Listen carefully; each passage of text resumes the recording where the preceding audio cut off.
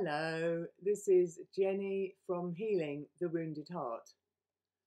There are probably not many of us who know people who have experienced real hunger or real thirst.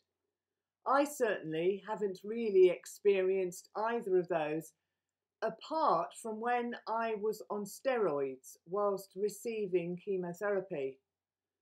After being given my first steroid dose, I couldn't understand why I suddenly felt so hungry, like I could eat a horse.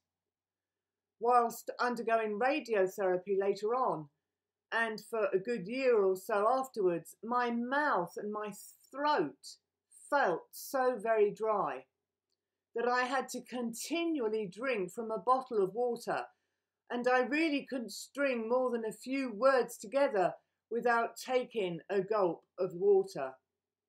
Well, thanks to God and to all those who have faithfully prayed for me, I am no longer in that position. But my experience has got me thinking when was the last time I was really hungry for God and for His Word and thirsty for more of Him and more of His Holy Spirit in my life? This is a very challenging question to all of us, isn't it?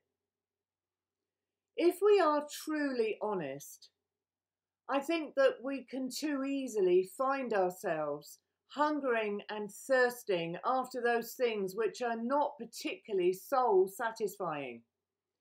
This is probably why Jesus said to his disciples, in Matthew chapter 5, verse 6 Blessed are those who hunger and thirst for righteousness, for they will be filled.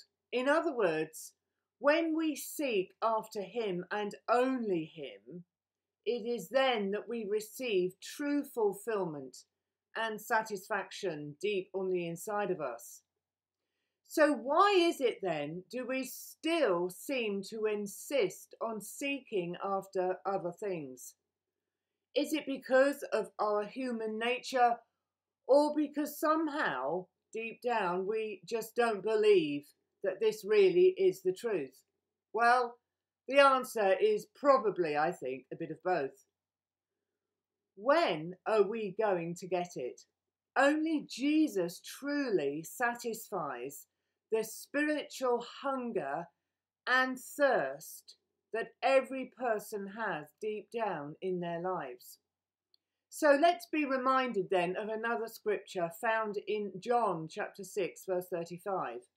Then Jesus declared, I am the bread of life.